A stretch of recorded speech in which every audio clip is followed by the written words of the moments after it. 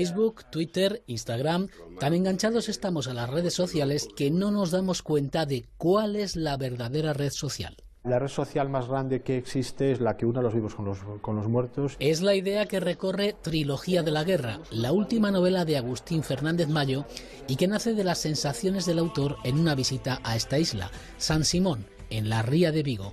Fue Lazareto, refugio de piratas y campo de concentración en la guerra civil. Es una isla a la que hay que no se puede visitar libremente. Me he quedado a dormir allí dos, dos, dos tres días y bueno, aparece algo, aparece una, la sensación que planea durar por todo el libro de que los muertos nunca están muertos del, del, todo. ¿no? Pero por el mismo motivo me pregunto, ¿y los vivos estamos vivos del todo? Fernández Mayo recibe allí los mensajes que le mandan los muertos y los cuenta a través de uno de los personajes del libro.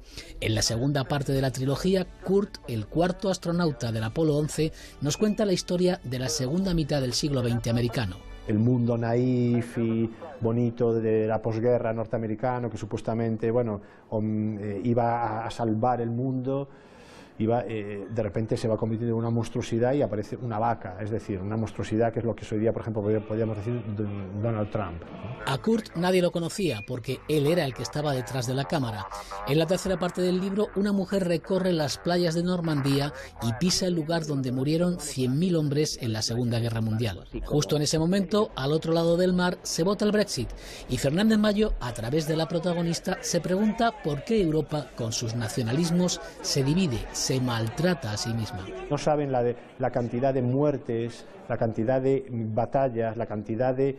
Son siglos para construir esto. Y de repente ahora, bueno, hay una especie de separación en base a, unos criterios económicos que son siempre absolutamente relativos. Trilogía de la Guerra es una novela que salta de lo actual a la historia. Fernández Mayo busca la cara B de la guerra civil, de Estados Unidos, de Europa, lo que queda oculto tras lo evidente y deja en el aire una reflexión inquietante. Es un error dar por hecho lo que fue contemplado.